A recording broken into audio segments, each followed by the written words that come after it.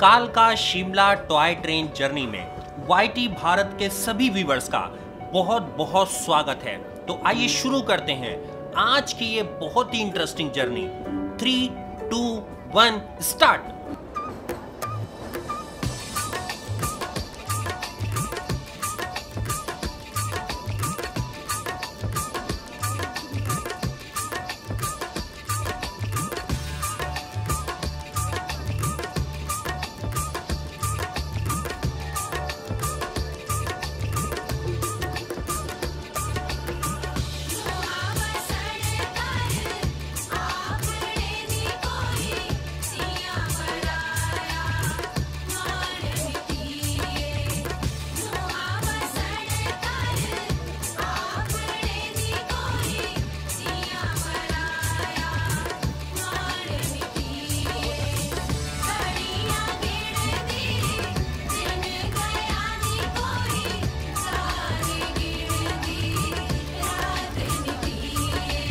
दोस्तों कालका Shimla toy train से हम सफ़र करेंगे 96 किलोमीटर का और ये लगभग 11 स्टॉप पे जाकर के स्टेशन पे जाकर के रुकेगी।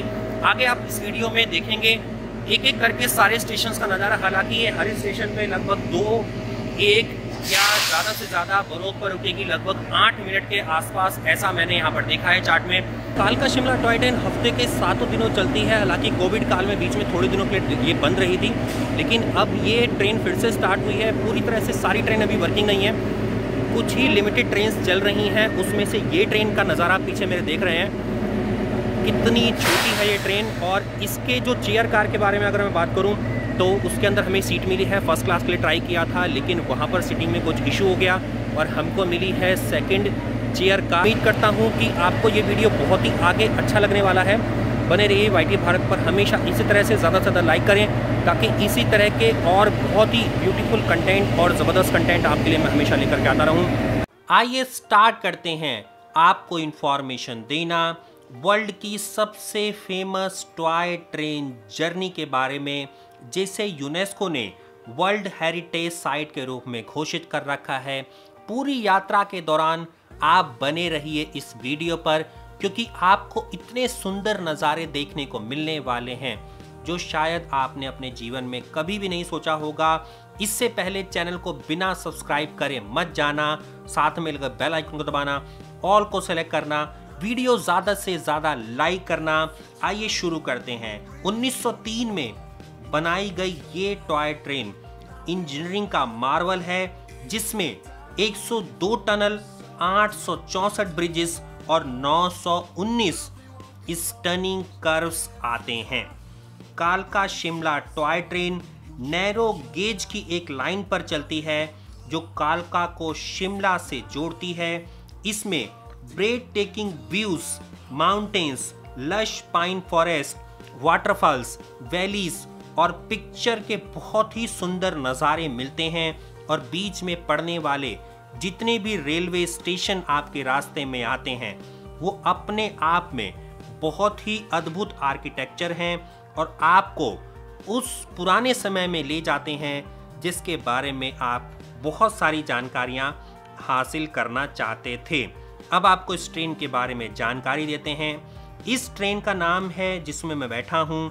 कालका शिमला फेस्टिवल स्पेशल, क्योंकि कोविड के दौरान जितनी भी ट्रेन इंडिया में चल रही हैं, वो स्पेशल बन गई हैं।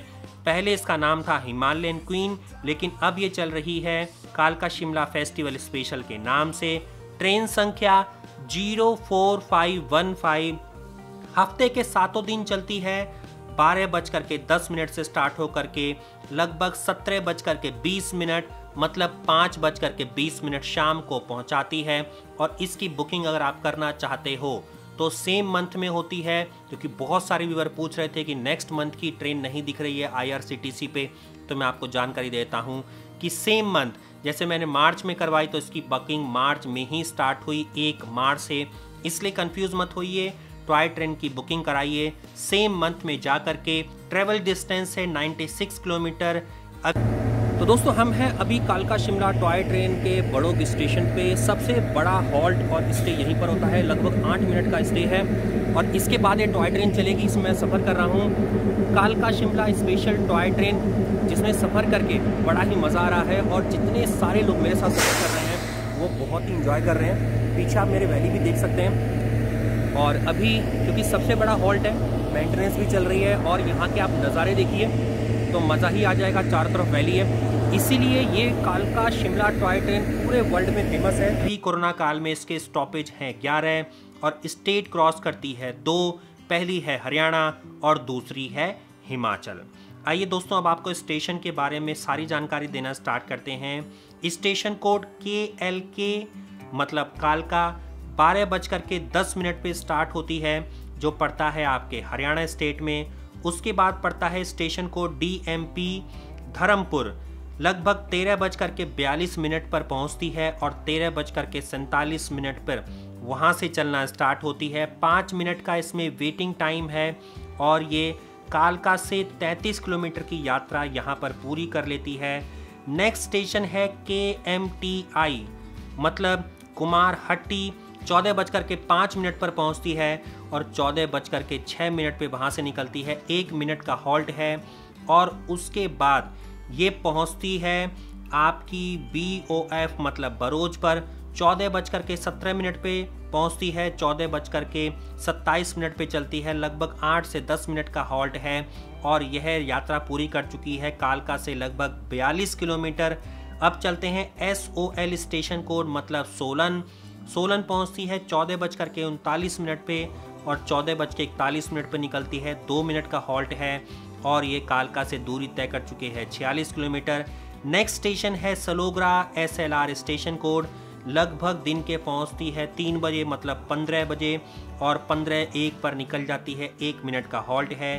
नेक्स्ट है कंडा घाट के डी जेड स्टेशन कोड तीन बज के सत्रह मिनट पे चलती है और तीन बज के इक्कीस मिनट पे निकलती है। चार मिनट का हॉल्ट है। उसके बाद आता है T V I station code Tara Devi लगभग सोलह पैंतीस मतलब चार पैंतीस पे पहुँच के चार छत्तीस पे निकलती है। एक मिनट का हॉल्ट है और यह कालका से दूरी तय कर चुके हैं 85 किलोमीटर। नेक्स्ट है जे टी ओ स्टेशन को जटोक। लगभग चार बज के पचास मिनट पे चल के वहाँ पे पहुँच के चार बज के इक्यावन मिनट पे निकलती है। एक मिनट का हॉल्ट है। नेक्स्ट है एस एच जेड मतलब समर हिल।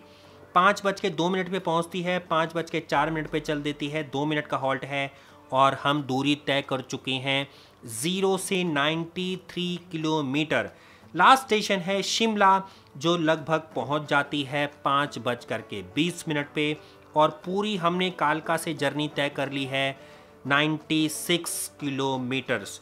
तो आपको जानकारी कैसे लग रही है, ये कमेंट करके ज़रूर बताइएगा। और भी कुछ जानकारी हासिल करना चाहते हैं तो वीडियो पर कमेंट करके आप मुझसे पूछ सकते हैं। अब आपको बताना स्टार्ट करते हैं शिमला की हिस्ट्री के बारे में, क्योंकि ये जानकारी लेने के बाद आप कभी भी शिमला अगर आएँगे तो आप पहले से ही माइंड में होगा शिमला की हिस्ट्री और आप इंजॉय कर पाएँगे। Soon after the first Anglo Gurkha war पहली गुरखा वार एंग्लो के बाद शिमला देन कॉल्ड जिसे हम तब के नाम से, शिमला के नाम से जानते थे S I M L A establish किया गया। अट्ठारह में शिमला को बनाया गया और इस टाउन को बनाया गया ब्रिटिशियंस की समर कैपिटल और इसके बाद जो ब्रिटिश आर्मी का हेडक्वार्टर था, वो भी यहीं पर स्थित था। But the only issue was connectivity लेकिन केवल कनेक्टिविटी का इशू था। शिमला पहुँचने के लिए आपको बैलगाड़ी से आना होता था, जो बहुत ही रिस्की होती थी। डेंजरस होती थी और लगभग बहुत ज़्यादा टाइम लगता था। और इसको कम करने के लिए क्विक बनाने के लिए कालका शिमला नैरो गेज को स्टार्ट किया गया और यह ट्रेन कालका शिमला टॉय ट्रेन के नाम से जानी गई। 1903 में इसकी स्थापना की गई और सबसे पहले इस जर्नी को करने वाले जो यात्री थे, वो वायसराय ऑफ़ इंडिया थे लॉर्ड कर्जन उसके बाद से यह ट्रेन प्रतिदिन चलती है और आइकॉनिक सिंबल बन गई है पूरे शिमला के लिए। तो दोस्तों, आपको शिमला की हिस्ट्री जान करके बहुत ही आनंद आया होगा और आप भी अगर कुछ और जानकारी जानते हैं शिमला की हिस्ट्री के बारे में तो वीडियो पर कमेंट करके हमें भी बताएँ ताकि हमारे YT भारत के और दर्शक भी इस शिमला के बारे में बहुत ही इंटरेस्टिंग जानकारी हासिल कर सकें। इसके अलावा टॉय ट्रेन से जब आप शिमला पहुँचेंगे तो आपको बहुत बहुत सारे ब्यूटीफुल प्लेसेस देखने को मिलेंगे। उम्मीद करता हूँ आपको ये जानकारी बहुत ही अच्छी लग रही होगी। आगे मैं आपको बताना चाहता हूँ कि कभी भी शिमला जाएँ तो माल रोड के आसपास ही होटल लें, क्योंकि सबसे ज़्यादा प्लेसेस माल रोड के आसपास ही अगर लोकल साइट सीइंग की बात करें, बाकी सारी जानकारी आपको नेक्स्ट आने वाली शिमला ट्रैवल सीरीज़ में मिल जाएगी। पिछले वीडियो को देखने के लिए ऊपर आई बटन पर जाके क्लिक कर सकते हैं और नीचे डिस्क्रिप्शन में मैं इस पूरी शिमला सीरीज़ के सारे वीडियोस के लिंक एक एक करके देने जा रहा हूँ। आप इंजॉय करिए इस पूरी राइड का और ज़रूर इस वीडियो को लाइक करना ना भूलें। चलिए। मेरी तरह ही बहुत सारे यहाँ पे टूरिस्ट आप देख सकते हैं, शिमला के टॉय ट्रेन में सफ़र कर रहे हैं और एक टूरिस्ट से आज आपको यहाँ पर मुलाकात करवाने जा रहा हूँ। आइए सबसे पहले इनका नाम पूछते हैं और पूछते हैं कि शिमला टॉय ट्रेन में कैसा फील हो रहा है इनको? क्या इन्जॉय कर पा रहे हैं और क्या फ़र्स्ट टाइम आए हैं या सेकेंड टाइम आए हैं? आइए सबसे पहले इनका नाम जान लेते हैं। मेरा नाम कार्तिक है जी। मेरा नाम रक्षा है। और मैं टॉय ट्रेन से फ़र्स्ट टाइम ट्रैवल कर रहा हूँ और ट्रेन काफ़ी बढ़िया है। रूट काफ़ी अच्छा है और व्यूज़ काफ़ी अच्छे हैं जो टनल्स हैं। लेकिन अब रिन्यू होने वाला है तो और भी ज़्यादा बढ़िया हो सकता है इसके बारे में। क्या फिर से आप रिकमेंड करेंगे किसी को आने के लिए? मैं बिल्कुल रेकमेंड करूँगा आने के लिए। आप देखें, हमारे देश की बहुत खूबसूरत जर्नी है। कालका से लेके शिमला तक की हमारा काफ़ी अच्छा ग्रीनरी ग्रीन वैलीज़ हैं, काफ़ी सुंदर देखने के लिए हिमाचल। आप इस जर्नी को ज़रूर ट्राई करें। अपनी फैमिली के साथ ट्राई करें, अपने फ्रेंड्स के साथ ट्राई करें।